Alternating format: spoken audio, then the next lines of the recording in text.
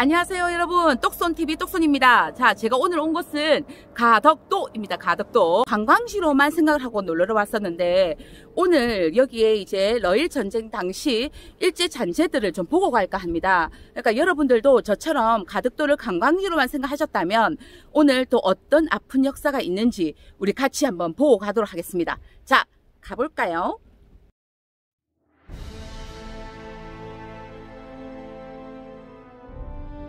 이 위치가 예전에 어, 한국 진해만 요새 사령부 배치도에 의하면 지금 병사로 사용된 것으로 추정된답니다. 어, 일본군이 군사시설로 설치한 것으로 1908년도에 작성이 됐다고 합니다. 그러니까 제가요 지금 추어탕 먹고 나오면서 보니까 어, 추어탕 집 쪽으로 조금 더 올라가면 사령관실이 있답니다. 어,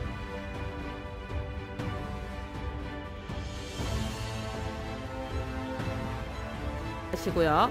그리고 여기 밑에 지금 햇빛 반사돼서 잘 안 보이는데 이 지금 이게 포진지 안내도입니다. 자 한번 볼게요. 여기가 외, 외양포 포진지 화장실이었다고 합니다. 상상이 되네요. 지금 보면 칸칸이 다 돼 있는 거 보이죠? 면을 다 이렇게 보고 하셨나봐. 지금은 아래가 이렇게 어, 동그랗게 파여는 있었는데 이게 지금 막혀 있나? 일부러 막아놓은 것 같습니다. 보니까 사령부 발상 사령부 발상 지지? 어, 사령부 발상 지지라고 있네요. 우와. 풍물놀이입니다, 풍물놀이. 포진지에서 오늘 풍물놀이를 하고 있네요. 어머, 안녕하세요. 네. 예, 여기 지금 보니까 가덕도에 우리 문화관광 해설사님이 계셔요. 양포 마을은 굉장히 가슴 아픈 역사의 현장입니다. 지금 1904년 일본 군들이 여기 들어와서 이렇게 군사시설을 하면서 이 마을에 살고 있던 주민들을 강제로 이렇게 저희 보내고 여기다가 군사시설을 구축했는데요. 저기 그것은 포자라고 합니다. 포가 앉아있던 자리를 포자라고 부릅니다. 이 그리고 보시면 여기 또 석빙고처럼 보이죠. 이것이 바로 탄약고가 되겠습니다. 예. 자 여기가 외양포 포진지 탄약고 되겠습니다. 그러니까 막사 바로 맞은편에 있고요. 탄약고는 여러분들 잘 아시다시피 탄약을 보관하는 창고죠 창고. 탄약고가 3개. 여기 보시면 바로 또 저기 또 동그란 거 보이죠? 이곳이 바로 엄폐 막사. 왜냐하면 군 지휘 시설 하던 곳이고 층은 이제 바다를 끼고 있고 밑에 이제 일본과 가깝지 않습니까? 일본의 잔재가 좀 많이 남아 있어요. 지금 이제 제가 보여드릴 곳은 엄폐 막사라고 해서 외항포 포진지에 있는 막사입니다, 막사.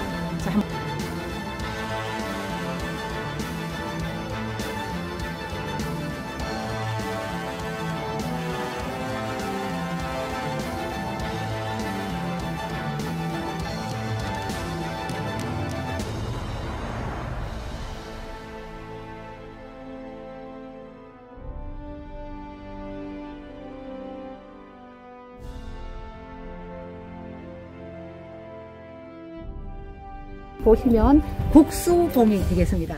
나라국, 목숨수, 또 봉우리봉. 저기 보시면 관측소가 있습니다. 저기서 정확하게 관측병이 관측해서 여기를 보내면 여기서 이제 받아서 저기 바다를 향해 포를 쏘던 그런 곳입니다. 이거는 1904년, 5년 노일 전쟁을 기념해서 여포진지가 생겼지만 또 조금만 벗어나면 태평양 전쟁 유적지 인공 동굴들이 10개나 넘습니다. 자, 여러분 어디 가 보시면 자연이 주는 동굴 앞에서는 전부 다 감탄사가 나옵니다. 그러나 여기 강제로 끌려와서 이렇게 인공 동굴을 파고 했다 하면 가슴 아픈 또 그런 동굴이 되겠습니다. 그런 동굴